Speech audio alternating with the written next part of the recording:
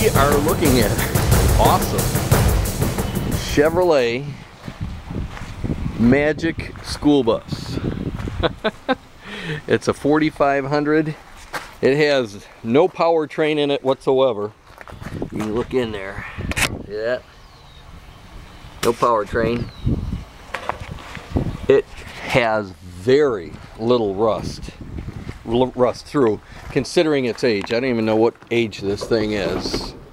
Um, let's see if we can find a, a capacity 34 painted on back in the day.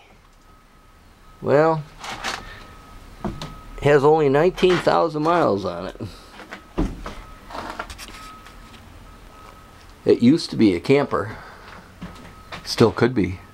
This is the ultimate in campers. It's a Wayne all steel, safety built coach. Indiana.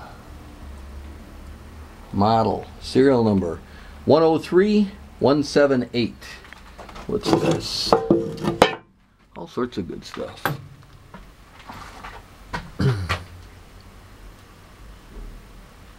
hmm. Well, it's going to need a little rehab in here, but uh, this is an absolute classic that that you can uh, turn into some amazing, awesome camper. Well, anyway, I'm going to walk you around it. It is in really, really solid shape. There is a hole in the glass there the windshield glass is in pretty good shape. The wiper arms are there, probably vacuum wipers. I mean, look at the shape that this thing's in. Super solid shape. More aerodynamic than today's buses by far. What a great camper this would make. Put your new powertrain in there, whether it be a strong gas motor or whatever. Nice Cummins diesel.